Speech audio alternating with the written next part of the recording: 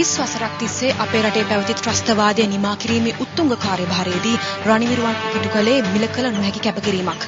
ඒ කැපකිරීම තුළදී මේ රට වෙනුවෙන් පූර්ණ කාලීනව ආබාධිත තත්ත්වයට පත් වූ රණවිරුවන් සිටින්නේ මේ රාගම රණවිරු සෙවණේදී. අපි දැන් සූදානම් වන්නේ ඔවුන්ගේ දෛනික ජීවන තත්ත්වය පිළිබඳව සොයා බලන්නට.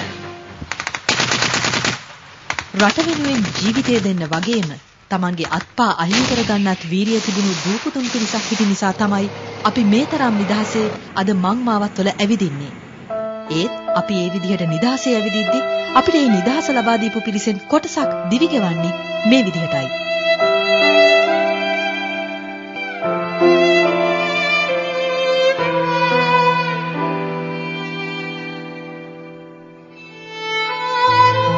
ඇතමුන්ගේ අත්තා අහිමි වෙලා.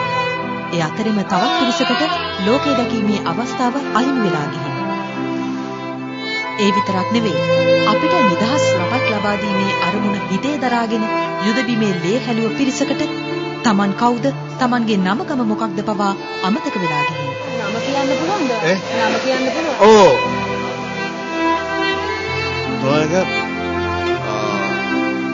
මේ දෙරණ මත පය තියන්න දෙපා අහිමි වූ අපේම සහෝදර රණවිරුවන්ට කෘත්‍රිම දෙපා ලබා දීලා තියෙන්නේ ඔවුන් බලා කියා ගන්න රාගම රණවිරු සෙවණ මගින්.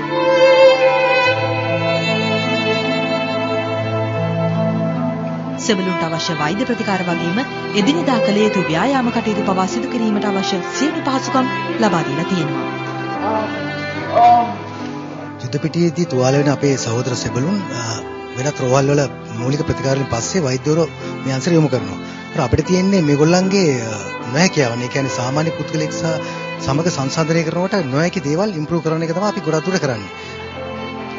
ත්‍රස්තවාදයට එරෙහිව මහසටනක් කරපු ඔවුන්ගෙන් පිරිසක් අද වෙද්දි තමන්ගේ කටයුතු කරගන්නේ තව කෙනෙක්ගේ සහයෙන්. රෑදවල් ඉස්පාසුවක් නැතිව අවේ අත දරාගෙන හිටිය මේ සෙබළුන් දැන් විවේකයේ ගෙවන්නේ මේ විදිහටයි. මඩින් පිරුණු ජල පාරවල් දිගේ දින ගණන් ඇවිද ගිහින් දෙපා අහිමි වුණු ඔවුන්ට නිදහසේ පිහිනන්න අද අවස්ථාවක් ලැබිලා.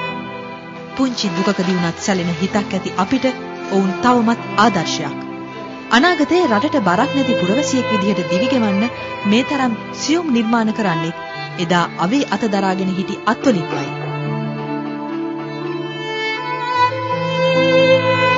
මගේ බෙල්ලෙන් පල්ලෙන් පාන නැහැ. මගේ නම් ඉතින් ෆියුචර් ප්ලෑන්ස් කියලා දෙන්නේ ඉතින් තාම ඉන්ඩිවිජුවල් නෑ. මට ඕනේ මේ ඉන්ඩිවිජුවල් ලයිෆ් එකකට කොහොමද හදාගන්න තමයි. මට ගොඩක් දේවල් ඉගෙන ගන්නත් ලැබුණා යම් යම් පාඨමාලාවලට යොමු වෙලා ලැබුවේ පන්නරෙන් මම යම් කිසි ව්‍යාපාර ඒ කුඩා කර්මාන්ත ඒවා කරන්න තමයි මගේ බලාපොරොත්තුව.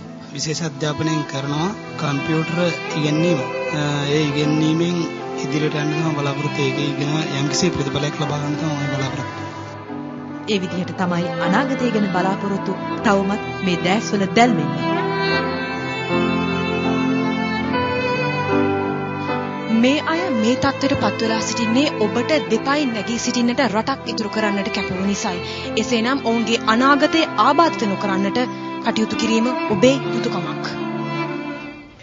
වසන්තිය අපි සෙවන දුන් ගසටත් අනිමිස ලෝචනයෙන් කළගුණ සැලකූ පරම්පරාවකින් පැවතෙන જાතියක්.